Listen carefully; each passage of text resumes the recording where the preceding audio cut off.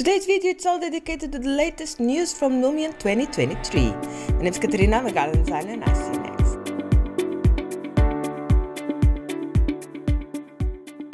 So this week was a great week for Lumion users. So we just found out that ray tracing is finally coming to Lumion. So this year is the the the um, new update is not going to be October, um, end of October normally, uh, it's going to be just in the beginning of the next year. And it's not called Lumion 13 like expected, it's called Lumion 2023.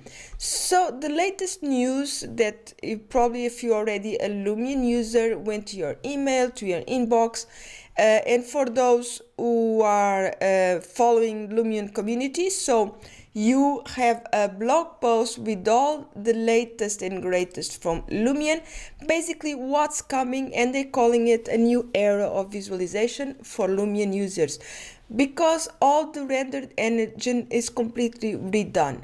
Uh, so they took them two years to do this update and a lot of people already in the latest years um, expecting ray tracing to coming uh, to come to Lumion, but and it's finally here. So it took them a little bit of time, uh, but we are really excited now, and it is.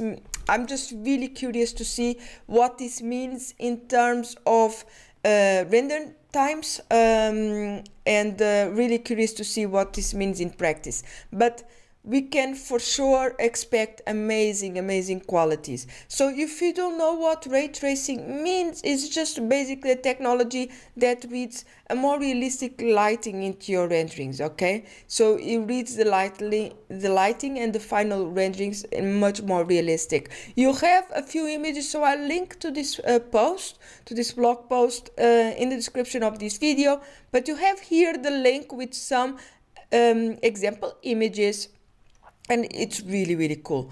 Uh, if you can see here uh, the the reflection the quality i'm so looking for as well for the light uh, light uh, um, dark night sorry um, renderings.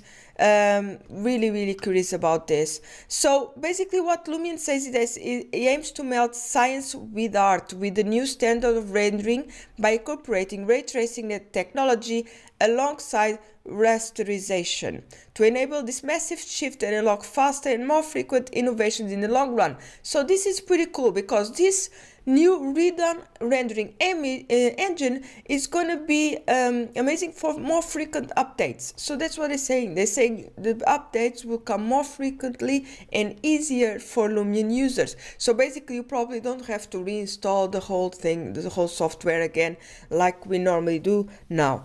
Um, so yeah, this is uh, pretty amazing. Um, they say Lumion's new rendered engine will deliver a best-in-class time-efficient rendering experience. So, really looking forward. This is great news for all the Lumion users. Um, and you have a little, GIF here, as you can see, this lighting coming to. Uh, so, you know, um, the, their Lumion chief technology says to unlock the potential of ray tracing now and in the future we completely overhauled our en rendered engine, a journey that started more than two years ago. So really, really looking forward.